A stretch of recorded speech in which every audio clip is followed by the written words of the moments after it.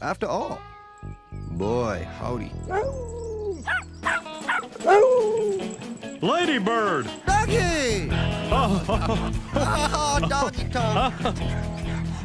welcome to the neighborhood, Con Su Pa Noosan Hone. Just call me Kahn.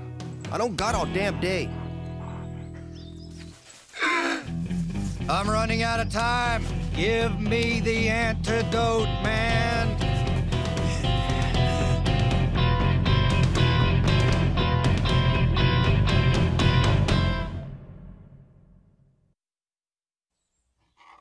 This is my granny's five alarm jambalaya.